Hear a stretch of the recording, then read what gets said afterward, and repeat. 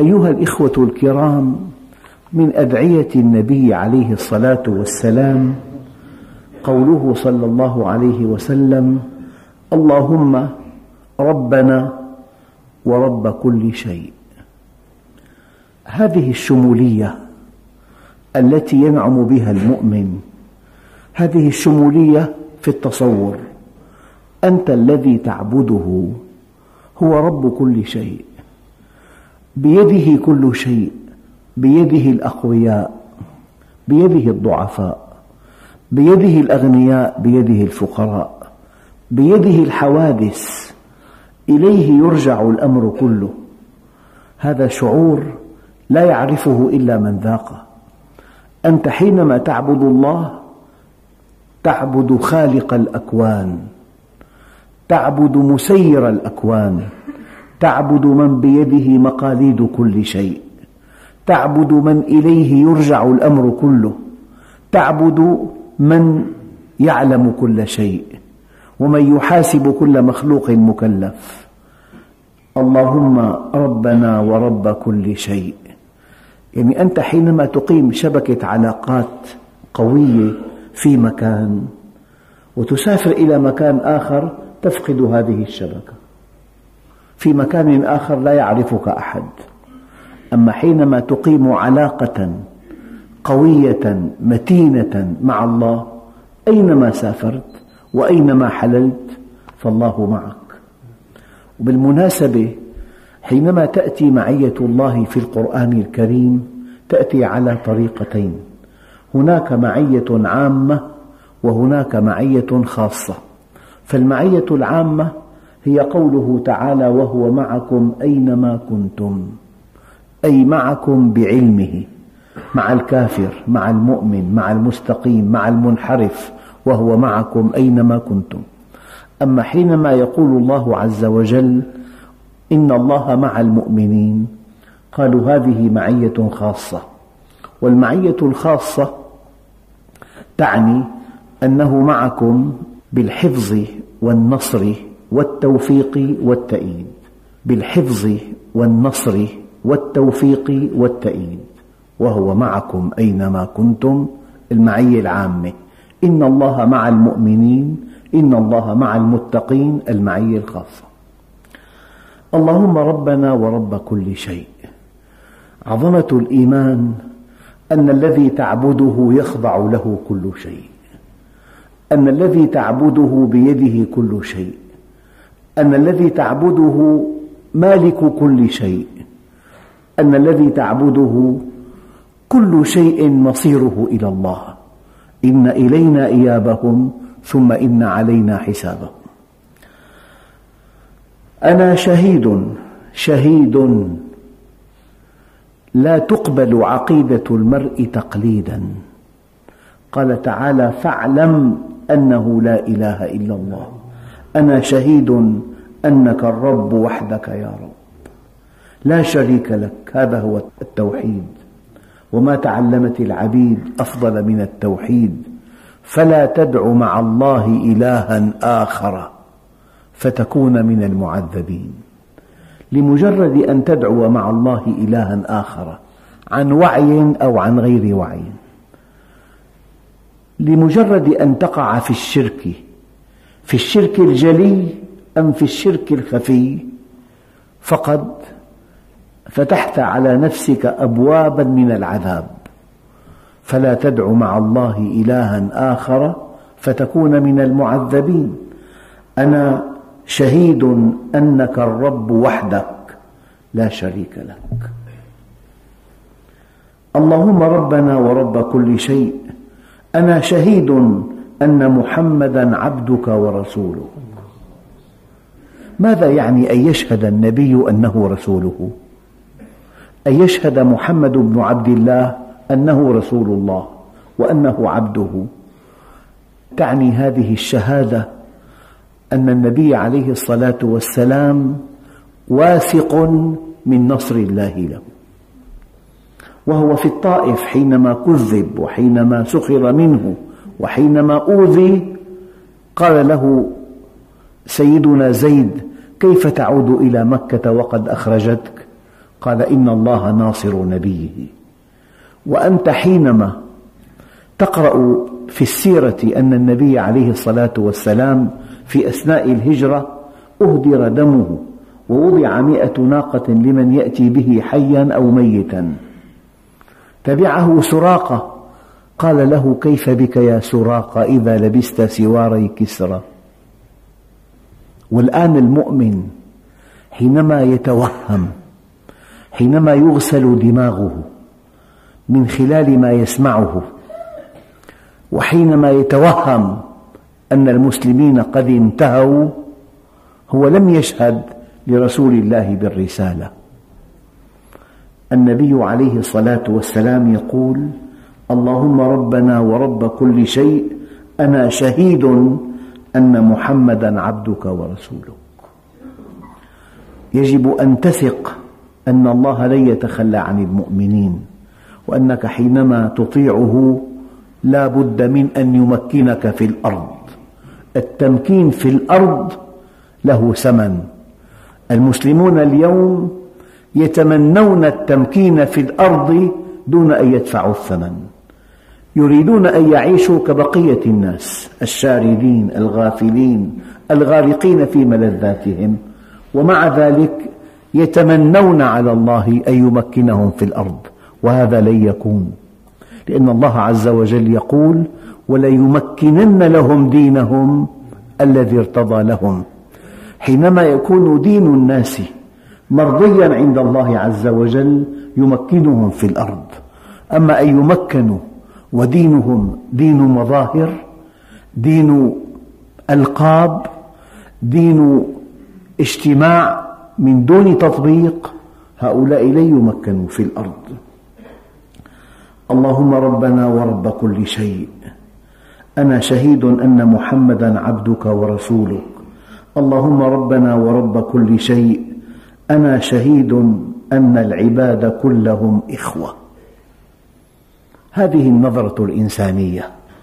قد تجد مجتمعا يعامل أفراده معاملة تفوق حد الخيال ولكنه يعامل بقية الشعوب معاملة وحشية يندى لها الجبين. هؤلاء ليسوا إنسانيين. عظمة هذا الدين أنه إنساني. إنساني النزعة.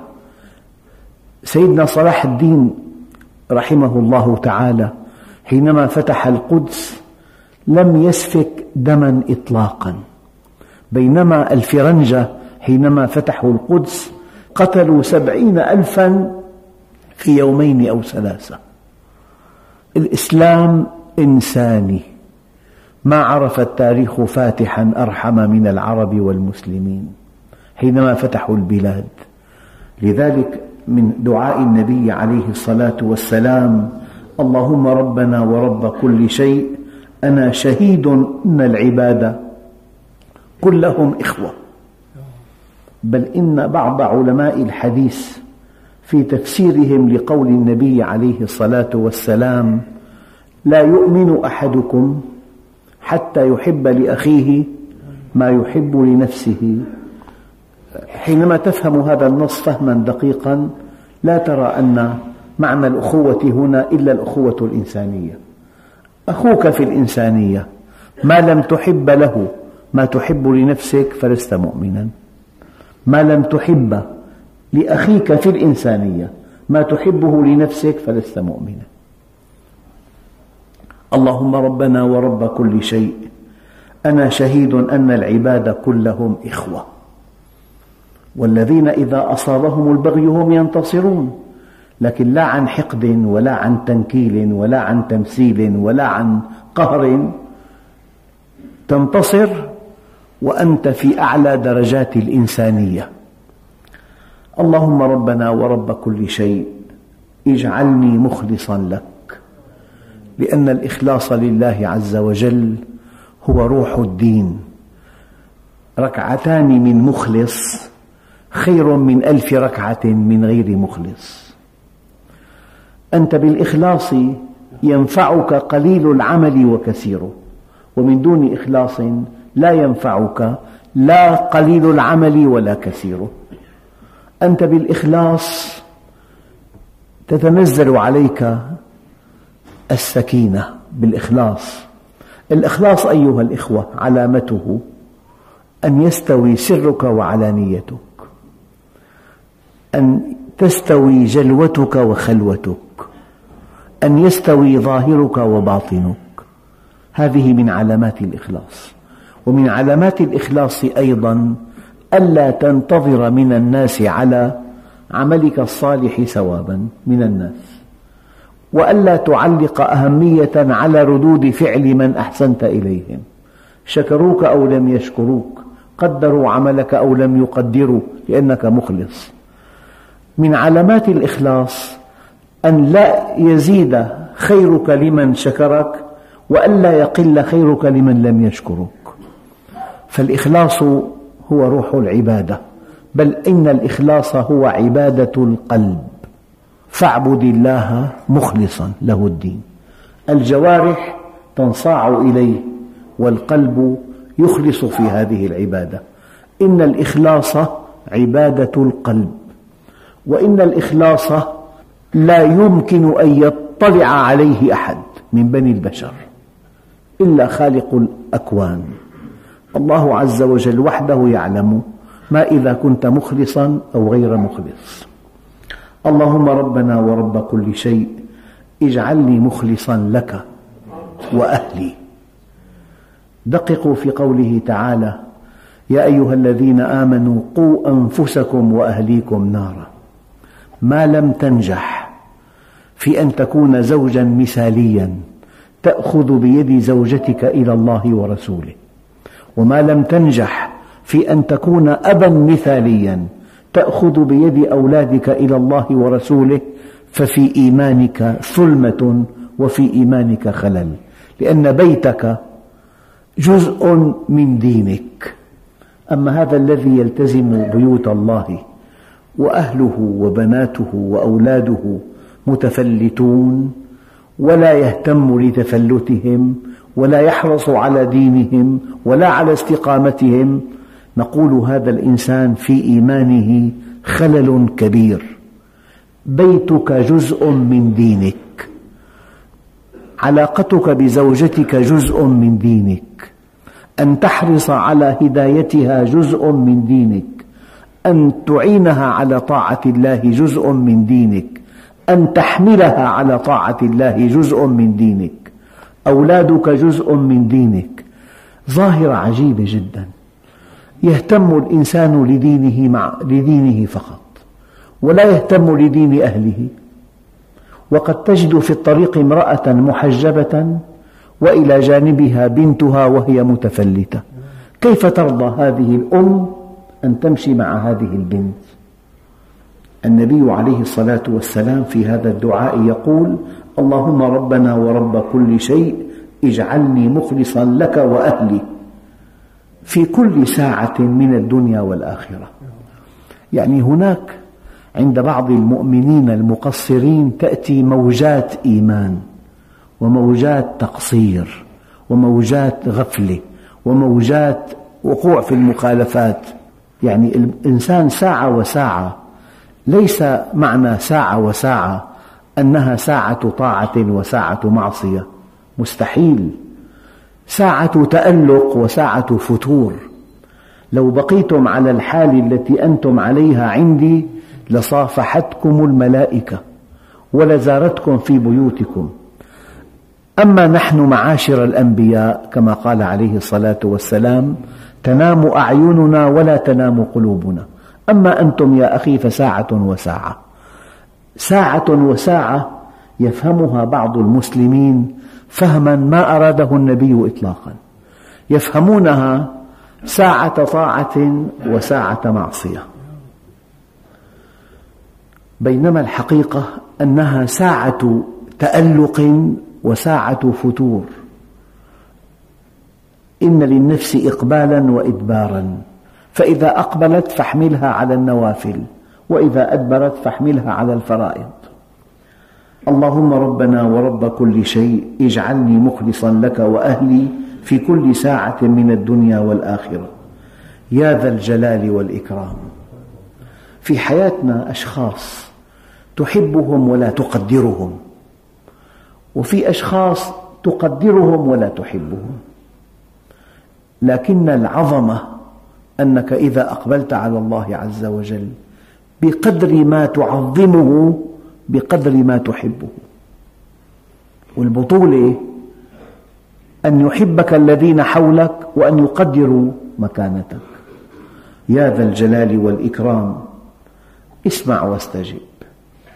اسمع فعل أمر ولكن في علم البلاغة إذا جاء الأمر من الأدنى إلى الأعلى قيل له التماس أو قيل له دعاء. فإذا جاء الأمر من مساو إلى مساو قيل له التماس. فإذا جاء الأمر من أعلى إلى أدنى قيل له أمر. فهو في الإعراب فعل أمر. أما في المعنى البلاغي هو دعاء. يا رب اسمع واستجب.